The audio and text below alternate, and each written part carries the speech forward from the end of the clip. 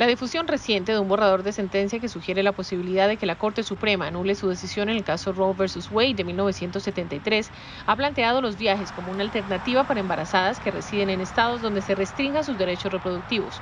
Sin embargo, dicen los activistas, es necesario fortalecer los recursos, no solo para visitantes, sino para los locales rurales. Tenemos una responsabilidad de asegurarnos de que esas personas también tengan clínicas y no tengan que... Uh, buscar otra alternativa. Estados como California, Oregon, Washington, Illinois y Colorado se preparan para recibir lo que piensan puede ser un aumento significativo de mujeres que tengan en sus lugares de origen acceso a procedimientos médicos para interrumpir su embarazo.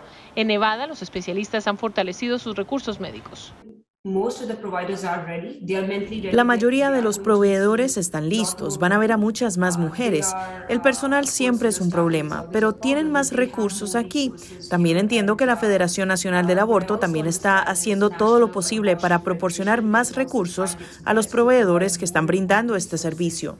Desde el punto de vista médico, dice la doctora Kashyap, la prioridad es proteger la salud de las mujeres y evitar que pongan su vida en riesgo al acudir a tratamientos no regulados. Desde el punto de vista legal, dicen los activistas, la prioridad debe ser evitar que si las mujeres buscan servicios de abortos en otros estados, no sean procesadas legalmente. Adriana Arevalo, Voz de América, Las Vegas.